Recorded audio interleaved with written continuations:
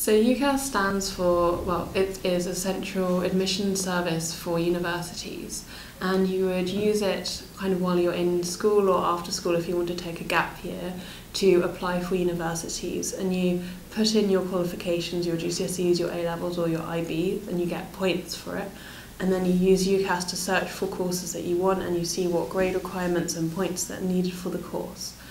Once you've done that, you can then like fill in an application form and your school will help you with this. They'll give you a reference and you will need to write a personal statement.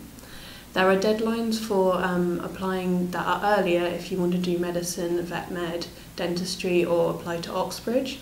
Um, and if you're doing medicine, you can only apply to four um, medicine courses and then you have to apply to one different one.